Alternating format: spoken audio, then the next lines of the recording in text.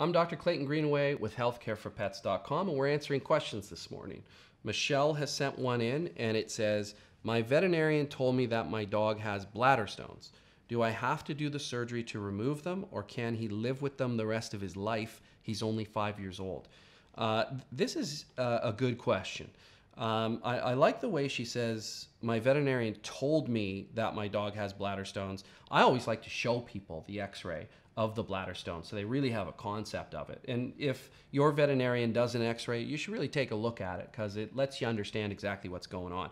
But bladder stones are an interesting problem. So obviously, your veterinarian can see these stones in the bladder and I suppose from the question, if she's asking, can he live with them forever? She's probably not seen any problems related to this. And we do see this sometimes where we actually find stones incidentally when we're doing x rays for other things.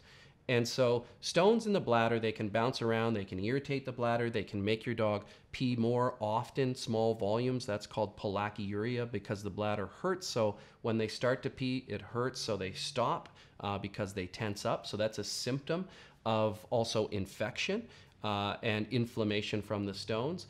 Infection can come along with the stones because the bacteria can live on the stones, and that can be a problem. Giving them antibiotics may not be able to reach that bacteria, so sometimes you have the symptoms come back and come back. People can think there are recurrent infections, but it's actually stones.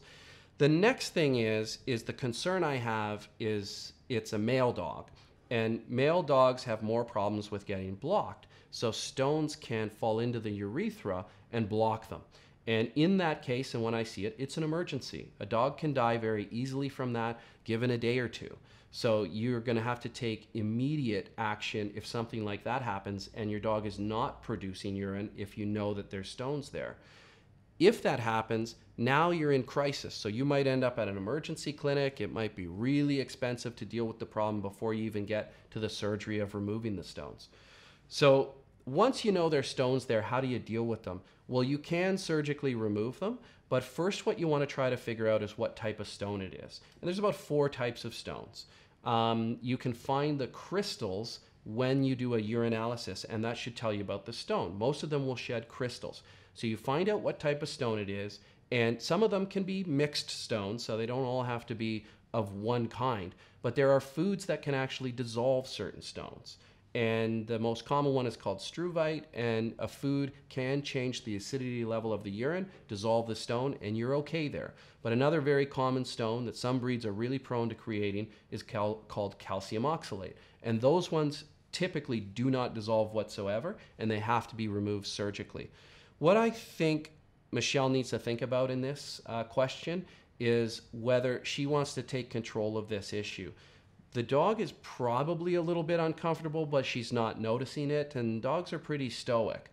The problem is, is it's a ticking time bomb.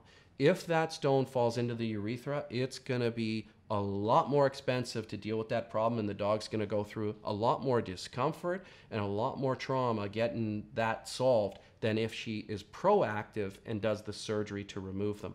First, she should figure out what stones they are, see if they're dissolvable, take another x ray after a diet to see if they have dissolved, and then address them surgically if they're not. So, hopefully, that helps. You let us know how things go and good luck with it. Keep those questions coming to healthcareforpets.com, where we're dedicated to your pet's health.